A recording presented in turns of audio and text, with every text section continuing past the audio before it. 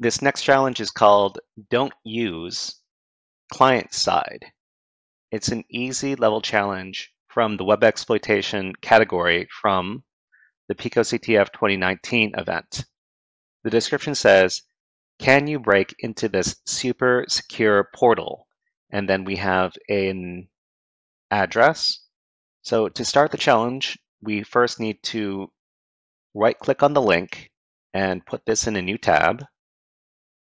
And then on that page, it says, this is a secure login portal, enter valid credentials, proceed. So over here, we can test something and click on verify. It says incorrect password. Okay.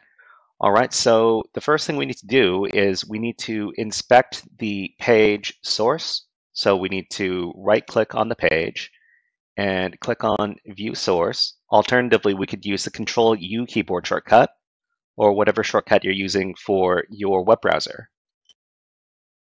Okay, so inside of the page source, we have this script over here, and it's got a function called verify, and it's looking for a certain string value.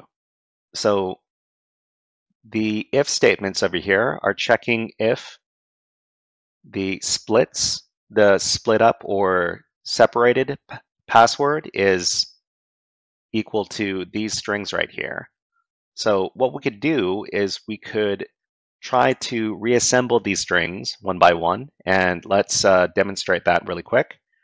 So it's uh, split split two, split zero first is Pico. So we can copy this and let's just paste it up in the URL address bar. So we don't need to we don't need to leave this page. So we're going split, split two is CTF and then this. So copy it, paste that in, and then split two to split three is this. Copy that, and then we're going to paste it in. And then split three to split four is this copy it,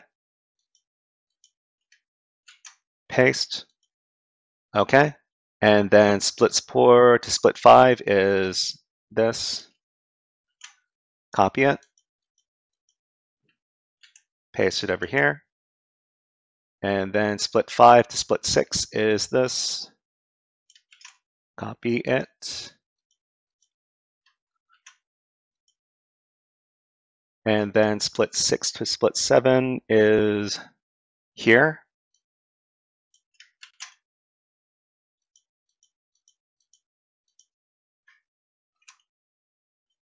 And split seven to split eight is this. Okay, so after we've copied all of these and put them all together, it uh, forms this as the flag. So we can copy this and we can go over to the challenge page. And on the challenge page, we can submit this flag in the flag submission field and click on submit flag. And we're finished. But there's another way we can um, get the flag, and that is, so over here, we've got the code, and we can copy the whole function over here. So we're going to copy this. And then we can go over to some chatbot like ChatGPT. And we can ask it, please reassemble the string from all of the splits. And then we can paste in the code and submit this.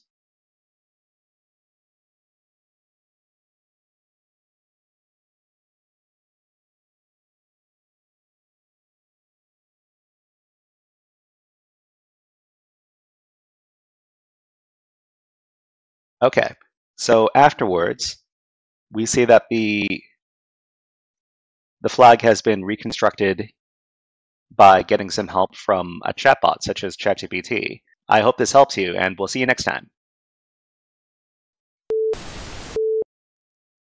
Hey there, Hacker Frogs!